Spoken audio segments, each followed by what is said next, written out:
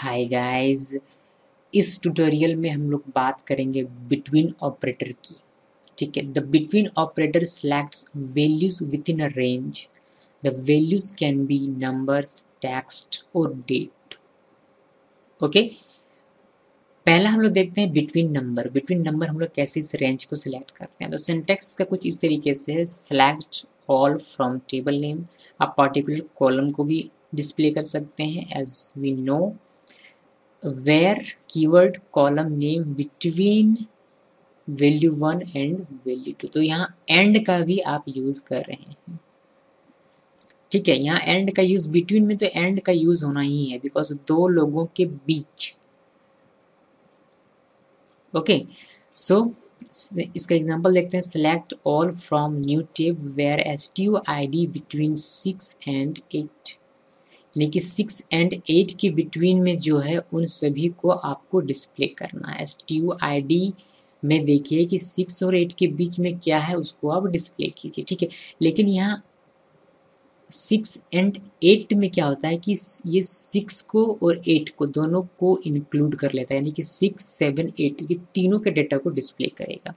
ये अलग अलग R D B M S software में अलग अलग तरीके से ट्रीट किया जाता है। किसी किसी में क्या होता है कि सिक्स और एट को काउंट नहीं करता है। सिर्फ़ इसके बीच में जो है सेवन उसी को डिस्प्ले करेगा। लेकिन हम लोग जो यूज़ कर रहे हैं, उसमें ये काउंट करता है। यानी कि माई एस क्यू एल जो कि R D B M S है इसमें ये काउंट करता है। तो जैसे कि एग्ज़ाम्पल लेते हैं, ये हमारे पास एक डेटा है।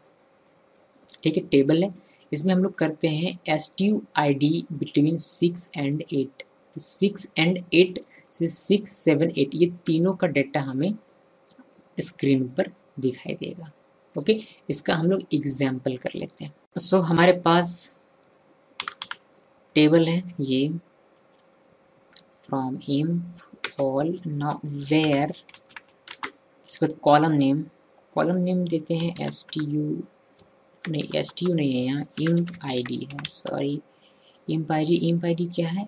वन ज़ीरो वन से स्टार्ट है ठीक है D between